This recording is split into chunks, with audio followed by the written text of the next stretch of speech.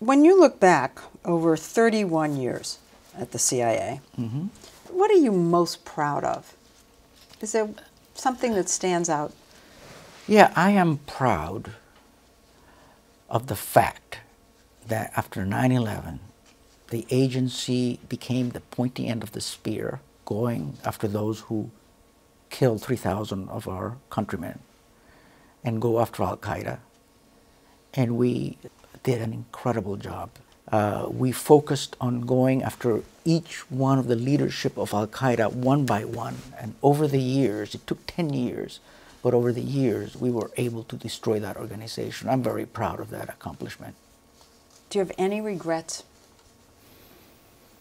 No, no regrets. None. I would do it all again.